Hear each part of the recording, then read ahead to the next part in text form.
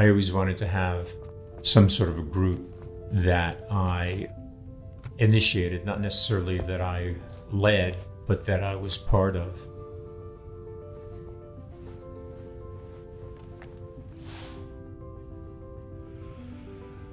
The timing for setting up APV was incredibly fortuitous because we had the opportunity to package stories that we could then sell to international broadcasters as the Hong Kong story was growing and as the Asia story was growing. And there were really very few other organizations that were doing what we were suggesting doing.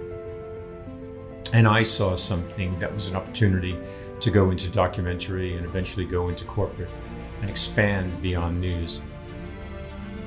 We've morphed organically. We went from two guys who were specializing in news to one guy who was a bit more interested in documentaries to expanding upon that to hiring people who were really good at what they did and really finding new opportunities and new avenues for us. We were initially attracting people from broadcast journalism. Then we were attracting people from bigger, more successful production houses. And then we were attracting people from bona fide advertising agencies.